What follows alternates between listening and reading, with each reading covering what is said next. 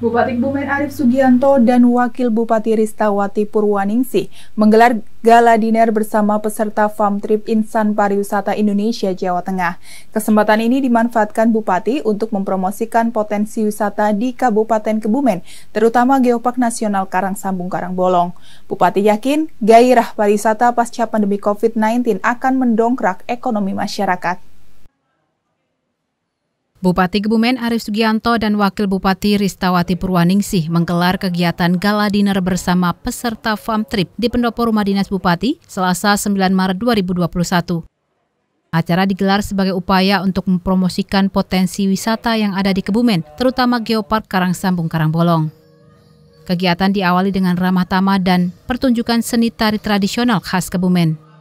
Turut hadir Sekda Kebumen Ahmad Ujang Sugiono, PLT Kepala Dispora Wisata Nugroho Triwaluyo, Kabak Prokopim Eko Purwanto, Ketua DPD IP Insan Pariwisata Indonesia Jawa Tengah Agus Dwiono, serta peserta farm trip dari berbagai daerah di Indonesia.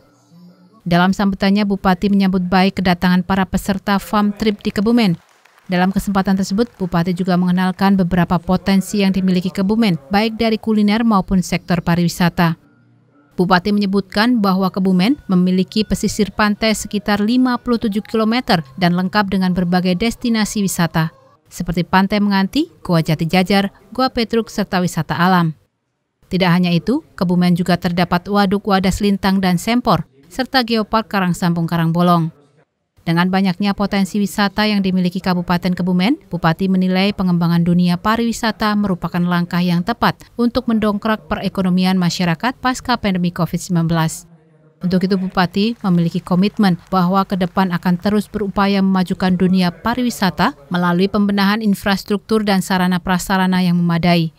Selain itu dirinya juga akan memberikan support secara maksimal khususnya bagi pengembangan desa wisata. Lebih lanjut, Bupati juga berpesan adanya pandemi dapat dijadikan sebagai sebuah tantangan untuk lebih kreatif dan inovatif memajukan dunia pariwisata. Dengan begitu diharapkan dapat terwujud ekonomi daerah yang sejahtera.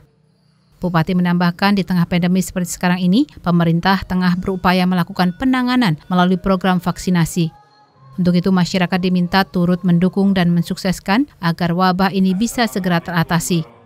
Dalam kesempatan tersebut, kegiatan diakhiri dengan pengundian door prize dan penyerahan cindera mata oleh Bupati kepada Ketua DPD IP Jateng.